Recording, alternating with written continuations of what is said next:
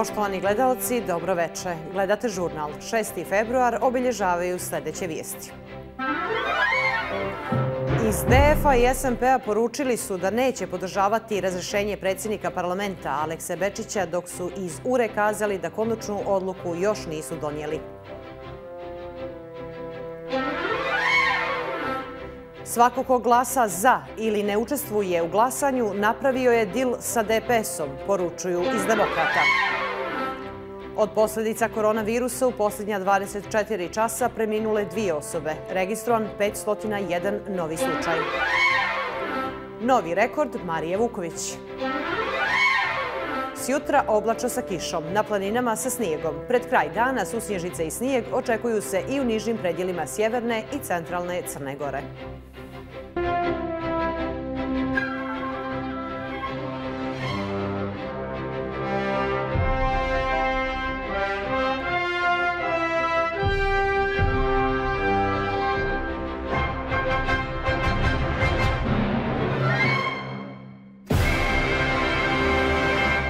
Uzroci pada vlade su mnogobrojni, a glavni od njih su nepotpisivanje temeljnog ugovora, neodržavanje popisa, kao i nedostatak pravde, kazao je funkcioner DF-a Slaven Radunović u emisiji Slobodna zona na našoj televiziji. Uzroci pada vlade su mnogobrojni, a glavni od njih su nepotpisivanje temeljnog ugovora, neodržavanje popisa kao i nedostatak pravde, kazao je funkcioner DF-a Slaven Radunović u emisiji Slobodna zona na našoj televiziji. Bitan faktor je smatra i slučaj Leposavić. Mi toliko godina smo u, s druge strane rova u odnosu na DPS, nismo željeli, iako smo više puta pominjali to kao mogućnost, ali nismo željeli da, da glasamo protiv njegove vlade, dok se o tome ne dogovori kompletna parlamentarna većina. Funkcioner demokrata Dragan Krapović poručio je da su demokrate mjesecima upozoravale šta se može desiti, a da je odgovornost prije svega na premijeru i vicepremijeru. Ako neko treba da snosi odgovornost za te rezultate i ukoliko neko treba da snosi odgovornost za krah ekspertskog koncepta, to je svakako Zdravko Krivokabić, ali to je svakako i Dritana Bazović prvi. Ima li odgovornosti demokrata i DF-a, jer ste vi to sve podržali? Da vam kažem, naravno da ima odgovornosti. Svako ko je vlast i ko je opozicija na kraju krajeva nosi određenu uh, vrstu i dozu odgovornosti i mi smo spremni ovaj, da preuzmemo tu dozu odgovornosti. Međutim, jednostavno, ovo što je uče urađeno je običan zakulisni politički dijel koji je napravljen ispod stola. Njemu se učinilo da će ljubavlju sa, dodatnom ljubavlju i bliskošću sa gospodinom Abazovićem da dobije naklonost vijesti, da budemo potpuno otvoreni i stranih ambasada. I dakle, od toga je napustio da tu, koaliciju nema, za budućnost Crne Gore i naše ciljeve programske.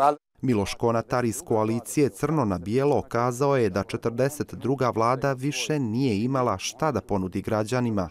Ona je očigledno u ovom trenutku dosegla svoj limit. Ona kao tranzicijona vlada koja je imala zadatak da efektuira političke promjene u Crnoj Gori je to uradila. Sada DPS je smijenjen, DPS se neće vratiti na vlast, DPS neće učestvovati u vladi Crne Gore. Sada je na nama da odredimo put, da kažem, karaktera našeg društva, da napravimo ključni i odlučujući korak ka članstvu Crne Gore u Europskoj uniji. Da li parlamentarna većina još postoji, znaće se poručuju veoma brzo. U DF-u smatraju da niko ne bi trebao da sabotira dogovor o vladi koja bi bila sastavljena od sve tri pobjedničke koalicije. Ako jedna od ove dvije koalicije bude saglasna s nama da se radi na, na ovome o čemu ja sad pričam, na stvaranju nove vlade, a treća ne bude htjela, vjerujte da ćemo tu treću, kogod daje, doživjeti kao problem zbog kojeg se demokratska partija socijalista na neki način može vratiti u, u, u, u naše živote kao politički faktor. Gospodine Konatar... Ako imamo tri saglasnost, tri koalicije, to se ne može desiti. Demokrate traže pisane garancije, ali značajan faktor bit će i glasanje o razrešenju predsjednika Skupštine Alekse Bečića, koje je zakazano za sjutra. Mi nećemo razgovarati ni sa kim ko se neće obavezati da neće imati nikakvih ovaj, dogovora s DPS-om u smislu vršenja vlasti. Drugo, mi nećemo podržati nikakve više eksperimente, nikakve manjinske vlade i tako dalje i tako bliže. I treće, eh, od eh, eh, nastavka razgovora i uopšte komunikacije će zavisiti dosta ponedeljak i glasanje. Na pitanje hoće li URA prihvatiti ako se DF i demokrate dogovore, Konatar ovako odgovara. Ne obavezuje me. Ali da li ćemo sjesti da razgovaramo, da nam oni predstave benefite toga dogovora? Naravno da ćemo sjesti. Podsjetimo iz DF-a i SMP-a poručili su da neće podržati razrešenje predsjednika parlamenta Alekse Bečića, dok su iz URE kazali da konačnu odluku još nisu donijeli. Smjenom predsjednika Skupštine konstituiše se nova parlamentarna većina sa podnosiocima inicijative i time oni koji su glasali za smjenu biraju koalicijonu stranu, saopštile su demokrate. Svako ko glasa za ili ne učestvuje u glasanju napravio je dil sa DPS-om i formirao novu parlamentarnu koaliciju, navodi se u saopštenju. Lider demokrata Aleksa Bečić poručio je koaliciji Crno na bijelo da će se u ime cijele partije izviniti cijeloj Crnoj gori za ono ono što su njegove kolege izjavile, kada ta koalicija javno obeća građanima da neće formirati e, skupštinsku većinu sa Demokratskom partijom socijalista. Za Demokratsku narodnu partiju i Demokratski front nije prihvatljiv nikakav koalicioni aranžman niti saradnja sa Demokratskom partijom socijalista, poručio je predsjednik DMP-a Milan Knežević. On je za portal Adrija kazao da parlamentarna većina mora početi razgovore koliko danas i u ponedeljak moramo imati jasne stavove jer nas očekuju ozbiljne teme koje bi mogle da poremete eventualni dogovor, a tiče se smjene Alekse Bečića, predsjednika Skupštine. Ukoliko nam je stalo do realizacije izborne volje, onda moramo pokazati mudrost i ozbiljnost i zajednički doći do dogovora, rekao je Knežević. Bivši ministri ekonomskog razvoja Jakov Milatović i financija i socijalnog staranja Milojko Spajić najavili su osnivanje pokreta. A da li će i Zdravko Krivokapić biti dio njega, kažu da je na njemu da odluči. U svakom slučaju treba uvijek reći da je on pokretač. Ostavimo profesoru da odluči, naveo je Milatović. Spajić je kazao da za sada nemaju nove informacije i da nijesu radili na detaljima o osnivanju pokreta. Sve će, kako je naveo, objasniti narednih dana. Svjedoci smo sve učestalijih napada na Srbe koji ne samo da prođu nekažnjeno, nego i potpuno nezapaženo, čak i u medijima i nevladinom sektoru. Nasupro tome, kad treba kazniti Srbe, tu sankcije ne izostaju, a sve to prati medijska pompa. Opširnije u prilogu. Nedavno je u emisiji na javnom servisu novinarka par puta Srpsku pravoslavnu crkvu nazvala Crkvom Srbije, uvrijedivši time osjećanja pravoslavnih vjernika u Crnoj Gori. Reakcija MVO sektora, medija, zaštitika prava i slobode bila je ista kao kada se slično desilo na gradskoj podgoričkoj televiziji. Obojica ponosni vjernici Crkve Srbije, branitelji svetinja, litijaši. Novinarka je otvoreno vrijeđala vjernike, odnosno pripadnike Srpske pravoslavne crkve. Uz to ih stigmatizovala, dovodeći ih u vezu sa ubistvima i pljačkama koje su se dogodile tih dana. Iako je zabranjeno izazivanje, posticanje mržnje ili netrpeljivosti po bilo kom osnovu, kazna je izostala. S druge strane, dio javnosti zatražio je od Agencije za elektronske medije da reaguje na uvredljive poruke koje je lider Srpske radikalne stranke Vojislav Šešelj uputio na račun građana Cetinja i crnogorske nacije preko televizije Happy. Reagovali su u savjetu Agencije za elektronske medije pa zabranili na šest mjeseci emitovanje emisija televizije Happy. Dolazimo do zaključka. Kad vrijeđaš i napadaš Srbe, ne moraš da se plašiš kazne jer ona izostaje. To nam dokazuje i nedavni slučaj u Kolašinu. Učesnik Litija i Srbin po nacionalnosti, Radojica Grujić, bio je žrtva policijske brutalnosti od strane policajca u civilu. Emitovali smo prilog u kom Grujić govori kako je došlo do napada, da je bio primoran da traži policijsku zaštitu i dobio je. Ali ne zaštitu, već kaznu. Naime, posle emitovanja tog priloga stigao nam je dopis policije u kom se navodi da je u stvari Grujić kriv, jer nije onako prebijen mirno sačekao policijskog službenika, već vrijeđajući tražio da mu se poštuju prava. Kažu da je povodom toga Radojica Grujić lišen slobode zbog izvršenih prekršaja iz člana 7 i člana 8 Zakona o javnom redu i miru i on je istog dana priveden nadležnom sudu za prekršaje. Nigdje nisu naveli da Grujić nije prebijen. Da rezimiramo. Iako prebijen, nije dobio policijsku zaštitu. Naprotiv, uhapšen je jer je on narušio javni red i mir. Dodaju u zaključku da dosadašnja saznanja ukazuju da se ovaj događaj ne može dovesti u vezu sa nacionalnom pripadnošću Grujić. Na njima je da istraže zašto je došlo uopšte do ovog nemilog događaja, a na nama da čujemo obje strane. Držali mi krvavog, čitao sam bio i, i ovdje mi je krvarilo. Krca, znaš kako mi je bilo nos, krvar. Nedavno je osvanuo uvredljiv grafit na crkvi pored hrama Hristovog vaskrsenja. Reakcija javnosti ista je kao i u prethodnim slučajevima. Iako se desilo 18. januara, počinilac nije uhvaćen. Vjerovatno policija radi još uvijek na tom slučaju. Ali kada je oskrnavljen antifašistički spomenik u Piperima, reagovali su iz građanske alijanse, pa je i gradonačelnik Podgorici Ivan Vuković obišao tim povodom rani laz i najavio da će grad u najkraćem roku obnoviti spomenik. I ono što što je najvažnije, policija je odmah krenula u potragu za počiniteljem. Tada su brojni zvaničnici, funkcioneri, nevladine organizacije isticale da je Crna Gora antifašistička i da će to i ostati. U 21. vijeku bilo bi upitno da nismo antifašistički orijentisani, ali i dalje ne možemo da nađemo termin za kontinuirano ugnjetavanje Srba, koje rijetko nađe i mjesta da se pomene u medijima, a do suda nikada i ne dođe pa da za kraj pogledamo kako su prava i osjećanja pripadnika Srpske pravoslavne crkve i Srba uopšte zaštićena u Crnoj Gori.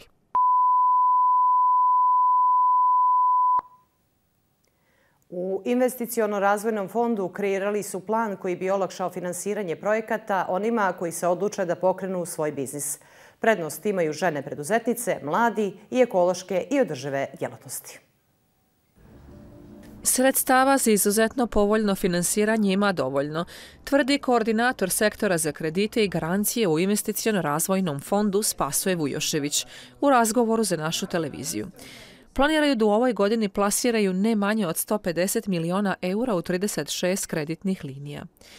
Prioritet ima razvoj preduzetništva, prije svega žensko preduzetništvo, kao i biznis mladih, otvaranje radnih mjesta, te podrška sektorima razvoja kao što su poljoprivreda i turizam. Poseban senzibilitet imamo kad je razvoj ženskog preduzetništva u pitanju. Imamo uh, i za visokoškolce čak beskamatne kredite, odnosno kredite sa kamatnom stopom e, nula. Uh, dakle, što se tiče razvoja poljoprivrede, imamo uh, kreditna sredstva koja nudimo Eh, za eh, razvoj agroindustrije i proizvodnje hrane i otkup eh, domaćih poljoprivrednih proizvoda i dakle unapređenje mehanizacije. Imamo nekoliko kreditnih linija gdje je maksimalan iznos kredita do 3 miliona eura, rok otplate do 12 godina.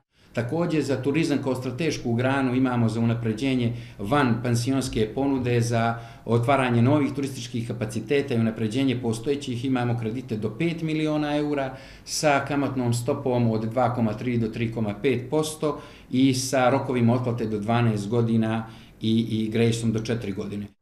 Proteklu godinu je, kako kaže naš sagovornik, obilježila pandemija koronavirusa, pa je u takvim uslovima izuzetne neizvjesnosti teško donijeti odluku o pokretanju biznisa. Ono što je novina u odnosu na prethodnu smo da bismo dodatno stimulisali, a opet nadajući se da se ova borba sa pandemijom polako završava, Uh, mi smo uh, malo uh, snizili kamatne stope kod određenog broja kreditnih linija kako bismo dodatno stimulisali potencijalne investitore.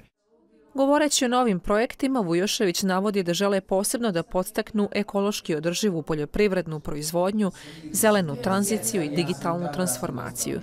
Mi želimo da budemo jedan od najvažnijih učesnika kako bismo gradili zelenu, održivu i niskokarbonsku ekonomiju, zaključio je Vujošević.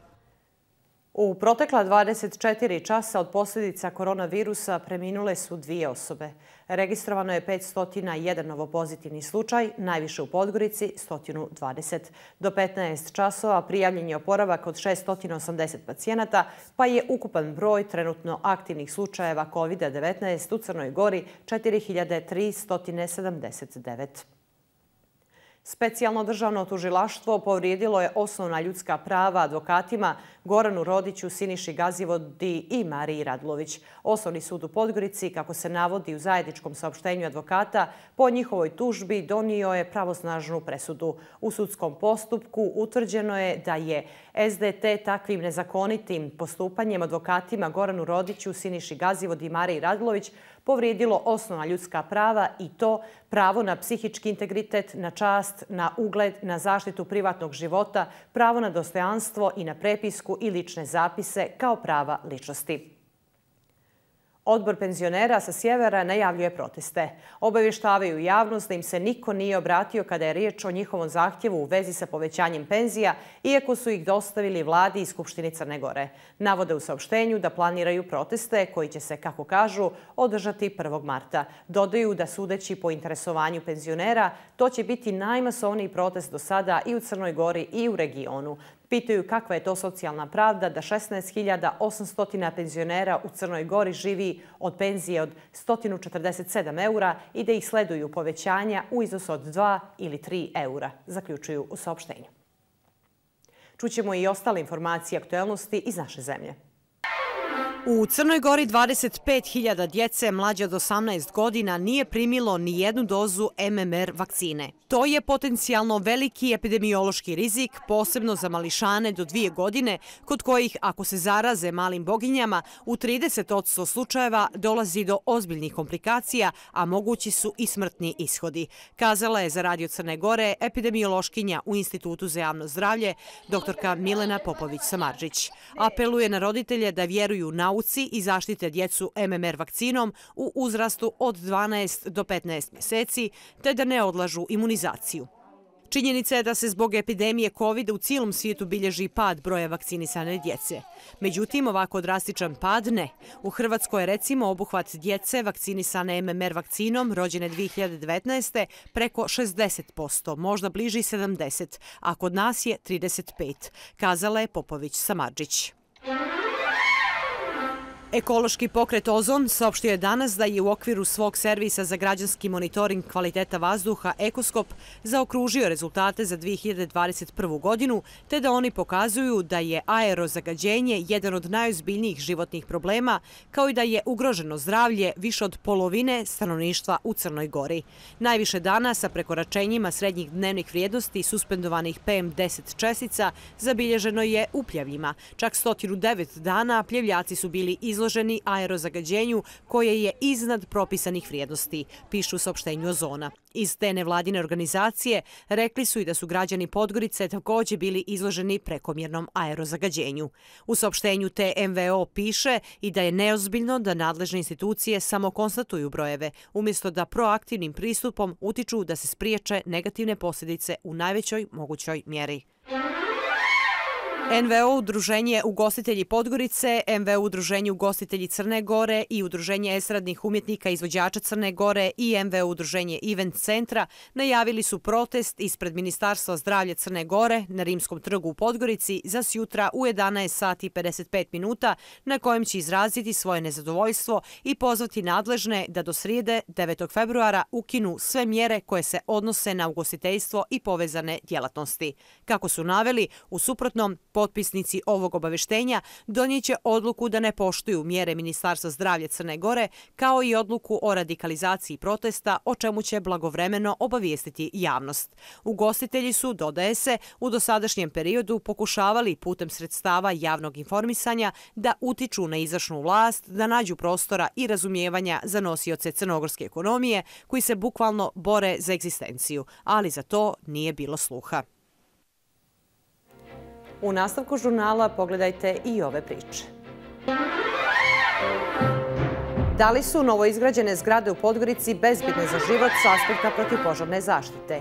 Najteža vremena i za kupce i za prodavce. Stefan Savić nakon više od dva mjeseca vratio se na teren.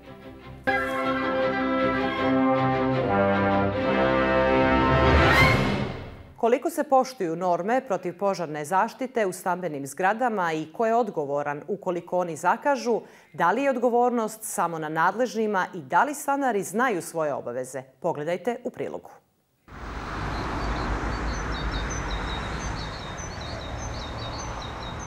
28. januara nešto malo nakon ponoći u naselju Gornja Gorica u potpunosti je izgorio objekat marketa Ideja i radnja sa elektropremom. Da li se prilikom izgradnje novih zgrada poštuju protiv požarne norme? Često možemo vidjeti da investitori zarad dodatnog garažnog mjesta ne stavljaju tampon zonu između garaže i stambene jedinice. Da li nadzor zaista prati izgradnju objekta vodeći se tehničkom dokumentacijom? Da li u starijim zgradama uopšte postoje protivpožarna sredstva? Pitali smo nadležne sa čim se susreću i ko nosi odgovornost u slučaju ako dođe do nekog požara i da ta zgrada nema protipožarni aparat. Svjedoci smo ubrzane izgradnje stambenih objekata u Crnoj Gori, no ko izgleda blješteće i skupo izrađeno, ali službe zaštite i spasavanja se suočavaju sa neprilikama prilikom intervencija – Problema je mnogo od niskih ulaza u garaže gdje gabaritna vozila vatrogasne službe ne mogu da pristupe, do nemarljivosti građana gdje svoja vozila ostave tako da vatrogasci ne mogu ni da priđu u objektu u plamenu. Imamo jedan, jedan, jednu anemičnost u smislu provjere i kontrole hidranske mreže. Mi smo unutar naše službe pokrenuli sami procedure da, obzirom da imamo servis protipožarnih aparata, da imamo uređaje za mjerenje pritiske ispravnosti hidranske mreže, negdje smo pokrenuli sami tu priču i pokušavamo na određenim lokalitetima da izmjerimo i pritisak vode u hidranskoj mreži i da vidimo da li postoje određeni problemi u samoj ispravnosti. Inspektor za požarstvo gospodin Vlado Burzanović je kazao da moraju da se stvore određeni preduslovi da bi državna inspekcija mogla da uđe u provjeru sistema zaštite i spasavanja u stambenu zgradu. Ukoliko stambena zgrada nema skupštinu etažnih vlasnika, upravnika te zgrade nije uređena kao pravno lice, to mora da organizuje komunalni inspektor lokalne samuprave. Član 10 zakona o održavanju stambenih zgrada tada nalaže da se redovno servisiraju protipožarne instalacije i protipožarni aparati u zgradi. Prioritet ima komunalni inspektor, pošto prije nego što ja, ja ne mogu da uđem u tu e, skupštinu, ne mogu da uđem u taj ulaz ako nije uređeno pravno. Šta znači pravno? Da postoji skupština etažnih vlasnika toga ulaza, i odgovorno lice upravnik toga Inspektor dodaje da ako zgrada ne prelazi visinu 22 metra proti požarne stepenice nisu obavezne i da postoje arhitektonska rješenja koja ih zamjenjuju. Postoje e, par solitera koji nemaju požarne stepenice, ali postoje arhitektonska rješenja kako na svake tri sprata ljudi su pravili požarne sektore. Šta su požarni sektori? To su spoljne terase da može čovjek, recimo, sa, sa toga sprata da se evakuiše. Dok službe prebacuju ovlašćenja jedni na druge, stanarima ostaje samo da se nadaju da do izbijanja požara neće doći. Prodavci na pijecama i proizvođači ručnih radova i proizvoda kažu da su ovo najteža vremena i za kupce i za prodavce. Ali ponuda na pijecama je bogata i kako ističu prodavci na njima, u mnogo čemu prednjači u odnosu na ponudu marketa. Pijaca, mjesto gdje se susreću gradi selo i njeguju vrijednosti plodova zemlje ostala je središte društvenog života. Zelena pijaca od uvijek je sastavni dio grada i njegovog identiteta, a duh naše sredine ogleda su onome što ćete naći na tezgama. Ponuda je još bogatija ako je čine rukotvorine i domaći proizvodi. Na zelenoj pijaci možete pronaći sve, od organske hrane, ljekovitog bilja, preparata, mede i čajeva i još mnogo proizvoda. Sve te proizvode stvorile su ruke naših vrijednih sugrađana, a oni će također korisnim savjetima i informacijama olakšati vaš odabir. Ponuda koja se nalazi na pijaci po mnogo čemu prednjači u odnosu na ponudu marketa. Vrijedni trgovci kažu da su ovo najteža vremena i za kupce i za prodavce, ali to ih nije omelo da izlože svoje proizvode. Koliko truda i vremena je potrebno da od plodova zemlje stvore gotove proizvode, najbolje znaju ovi vrijedni ljudi. Ceo život smo samo time bavili, medom i pčelama, a kasnije smo počeli da vadimo mleči, polen i te stvari, jer nekad davno, kad bi donio ovo na pjacu, mislili su da je sjeme. Nije narod znao šta je to. To je već kasnije, ovi proizvodi su početi da se proizvode. Ali glavno je med za jedno ljeto, jer to moraš samo jednom ili dva put godišnje da izvadiš med. I to zavisi do godine. Obično to što napravim e, sokova, na ove godine sam napravila oko 300 litara, sve sam prodala.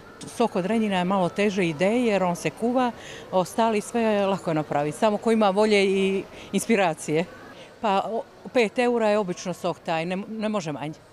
Među brojnim štandovima i prodavcima na zelenoj pijaci svima najdraži je sedmogodišnji Jakov. Danas je umjesto vožnje biciklom sa drugarima stao za tezgom kako bi pomagao svojoj majici, a ni zanad obrade drveta i pravljanja suvenira, kaže Jakov, nije mu stran. Da pomažem ja ovo kao šlajfam sve. Daske što mi tata pravi, ja to sve šlajfam, a predavno sam bio maza. Uvek kad ja imam kao jednu malu grešku, ja to, meni tata uvek nešto po mene, pa ja onda to popravim pregovori sa prodavcima o cijeni, takozvano cijenkanje. Pitanje i potpitanje da li je voće prskano ili nije, detaljne analize društvenih dešavanja, sve to čini atmosferu pijace autentično. Neki od naših sagovornika dodaju da im je ova zarada jedin izvor egzistencije, pa su dodatno ponosni na to što od svoje mašte, vrijednih ruku i predanog rada mogu da stvore i zarade, nezaviseći ni od koga. Sjeverna Koreja nastavila je da razvija svoj nuklearni i program balističkih projektila kao i sposobnost da proizvede dijelove nuklearnih uređaja, kršeći rezolucije Savjeta bezbjednosti Ujedinjenih nacija, saopštili su UN stručnjaci u novom izještaju. Pyongyang je ranije zaprijetio da će ukinuti četvorogodišnji moratorijum na ozbiljna testiranja oružja kao što su nuklearne eksplozije, dok Ujedinjene nacije ne odustaju od sankcija prema toj državi. Pogledajte i ostale informacije sa međunarodne scene.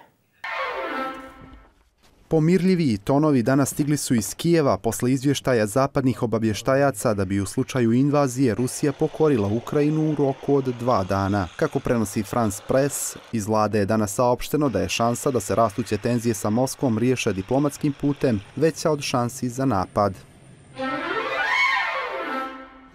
Predsjednik Bjelorusije Aleksandar Lukašenko izjavio je da će se povući sa tog položaja ukoliko se stabilizuje situacija u toj državi. U intervju ruskim medijima Lukašenko je kazao da će uvijek biti tu ukoliko izbije rat ili događaj slični onima koji su Bjelorusiju potresli 2020. godine.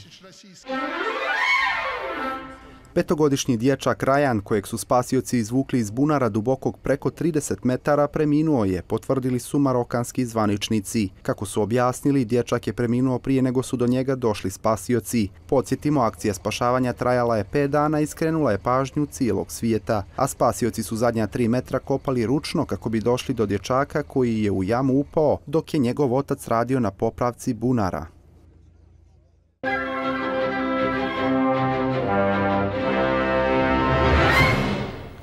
Marija Vuković stigla je do novog sjajnog rezultata u 2022. Naša najbolja sportistkinja postavila je lični rekord u dvorani. Vuković je preskočila 195 cm na mitingu u Češkom Hustopečevu, što je istovremeno i crnogorski rekord. To je bilo dovoljno za drugo mjesto na mitingu. Sezona je otvorila trećim mjestom u Njemačkoj. Marija se sprema za svjetsko prvenstvo u dvorani u Beogradu, koje počinje 18. marta. Košakaši budućnosti voli savladali su Mornar 73-62 u ABA ligi. Plavobili su triumfovali zahvaljujući boljoj igri u drugom polovremenu. Košarkaši budućnosti voli nastavili su seriju pobjeda u regionalnom takmičenju. Plavobijeli su sedmi u zastupni triumf upisali nakon triumfa protiv Mornara u Baru 73-62. Tim Mihajlo Pavićevića dobro je otvorio meč i imao šest pojena prednosti nakon prvog poluvremena. Plavo-bijeli su ipak bili bolji u nastavku, zaigrali kvalitetnije prije svega u odbrani, primili samo 20 poena i slavili. Malo smo igrali bliže na tom nekom šutu za, za tri poena, malo smo bolje kontrolisali reket, učestvovali bolje u skoku, odatle pokušali da, da potrčimo, naročito na početku treće četvrtine smo nek, napravili neku seriju, natrali smo ih u neke greške i, i to nam je pomoglo da, da se vratimo u meč i da onako krenemo neku lagano uh, ovaj, lagano vođstvo za razliku od prve polovine meča, mislim da u drugom nismo imali slabog pojedinca. Evidentno je bilo da, da u drugom polovremenu padamo um, s našom, rekao bih, mnogo kraćom rotacijom u odnosu na protivnika. Bilo je evidentno da, da nas usteže malo i umor, iz tog umora falilo je i kreacije. Petar Popović ponovo je bio najzaslužniji za pobjedu. 25-godišnji Bek je nosio plavo-bijele do triumfa protiv Virtusa sa 23 poena, a Mornaro je ubacio 16, od čega 8 kada je budućnost pravila odlučujuću seriju. Mogu da kažem da me iznenađuje, što znam koliko radi i znam kakav ovaj, koliko verujemo jedan drugome i to vam je to, ljudi, nema tu neki filozofiju. Mislim, i prvi put kad se bio u budućnosti, ako ćemo realno, ja mislim da on igra dobro. Iz mog ugla tadašnjih trenera, danas sam zadovoljan isto kako i očigledno se razvija. Budućnost je upisala 13. pobjedu nakon 16 odigranih utakmica i nastavila je borbu za sam vrh tabele. Mornar je ostao na sedam triumfa i utrcija za play-off. Držimo još uvijek te šanse u svojim rukama. Ako smo e, kadri da se izborimo za to neko mjesto koje vodi u, u play-offu ove godine, znači trebala bi nam neka od pobjeda na strani protiv e, direktnih konkurenata, to prije svega mislim na, na Igokeu i, i Megu. Mornar takmičenje u ABA ligi nastavlja gostovanjem Igokej, dok budućnost očekuje Megu. Ryoyu Kobayashi osvojio je zlato na ski skokovima na zimskim olimpijskim igrama u Pekingu. Japanac je do zlata došao skokovima od 145 i 129 metara, što mu je donijelo 275 bodova. Srebro je osvojio Manuel Fetner, bronzu David Kobacki. Iz ostalih sportova zanimljivo je da Novi Zeland ima prvo zlato. Zoji Sadovski Sinot bila je najbolja u disciplini snowboard. Stefan Savić se vratio nakon više od dva mjeseca na teren, ali povratak neće pamtiti po dobrom rezultatu. Njegov atletiko poražen je u derbiju od Barcelone 4-2. Krasko je doveo Kolčoneresu u prednost. Domaći su zatim postigli četiri gola.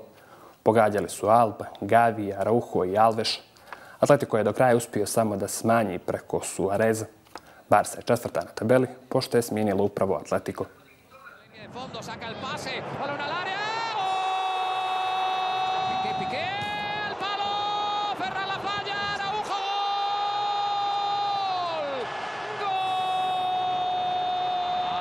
El balón a Frenkie de Jong, el intento de tacón, solo.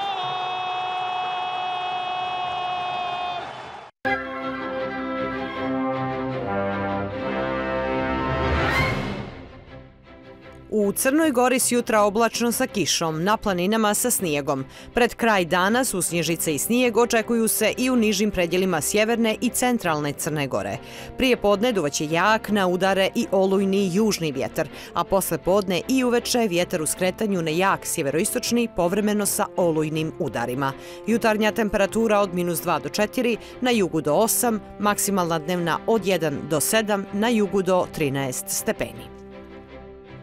U Podgorici oblačno sa kišom. Prije podne duvaće jak na udare i olujni južni vjetar, a poslije podne i uveče vjetar u skretanju na jak sjeveroistočni, povremeno sa olujnim udarima. Jutarnja temperatura 6, maksimalna dnevna 10 stepeni. Na Balkanskom poluostrvu oblačno sa kišom, na planinama sa snijegom.